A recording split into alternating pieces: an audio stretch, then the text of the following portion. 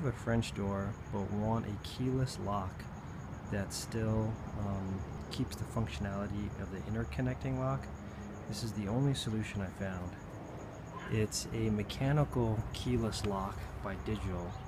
Uh, it's the 2200 series.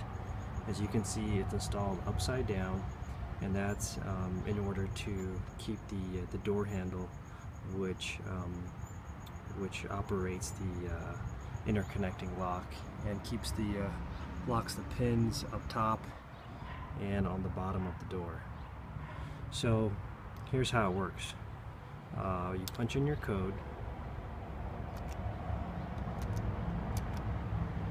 and then this turns, this unlocks. It's a little sticky and this pulls down. That's it, the door's open. When you pull the door back, you pull the handle up, which locks the pins top and bottom. You pull or the uh, turn the twist knob to lock it, and since the code um, has now been reset, you cannot turn it to the right again to unlock, and the handle is also locked.